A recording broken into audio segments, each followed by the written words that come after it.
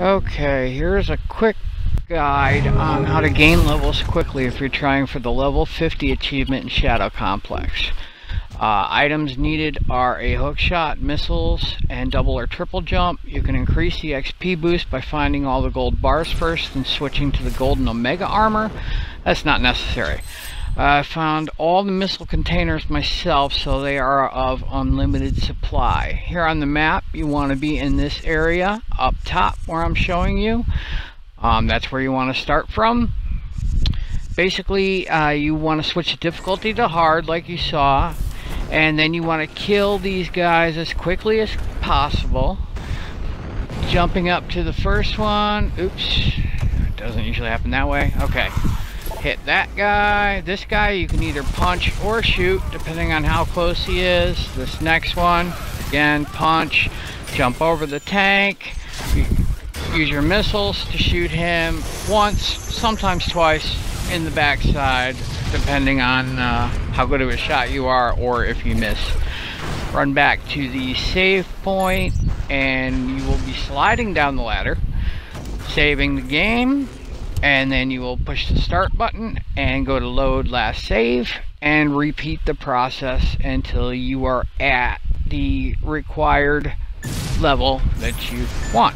I mean, this may take you a while to get to level 50, but it is much faster than any other method I've seen, and when you're at this point of the game like I am, you are out of enemies except for some here. The only thing I have left to do is kill the boss, but I do want to get to level 50 so that uh, I have that achievement before I leave. Right here I am just going through it a couple of times to show you how quickly you can gain a level. I'm going from like level 24 to 25 or maybe 26 to 27. Um, I mean, you can always put some music on in the background or, you know, the TV on and listen to something while you're doing this because it can be a little bit monotonous, but uh, eventually you will get where you want to go.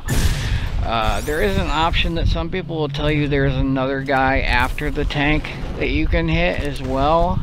Um, that you would kill, say, this first guy right here. Boom. Go to the next guy. Boom. He was close enough that time. Third guy.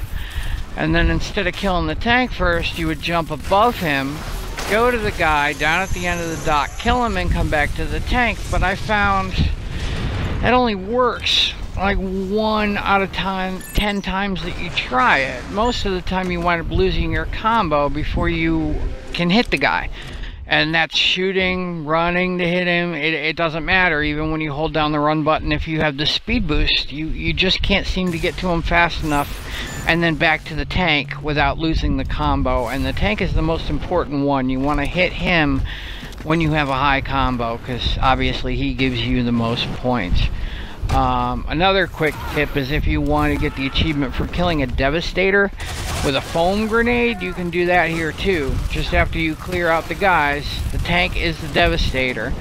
You want to shoot him down with your gun or whatever until he has one hit left, and then shoot foam at his face and stick a grenade to it, or rather his butt, and you will kill him and get that achievement as well. Good luck.